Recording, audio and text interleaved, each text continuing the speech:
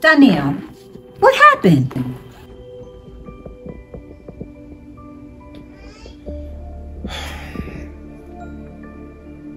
I don't know.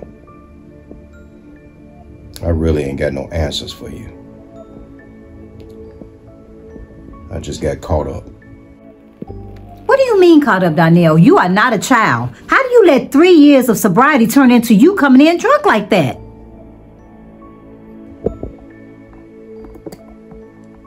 Look, I feel like our marriage is falling apart.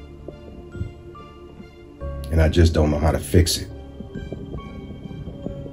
And it just led me to being drunk. I'm not accepting that, Donnell. You don't know how to fix it.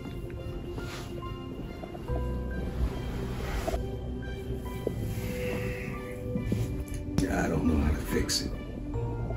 34 years of marriage and you don't know how to fix it. Well, you know what? I'm going to have to fix it for you. You said we was not going to go through this again and we had an agreement. And I'm not going to deal with this again, Donnell. I'm tired of it. I'm done. It's over.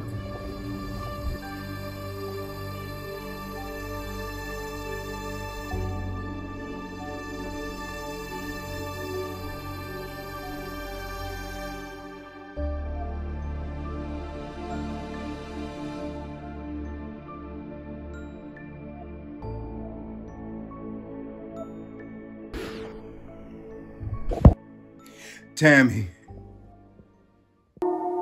I tried so hard and got so far, but in the end, it doesn't even matter.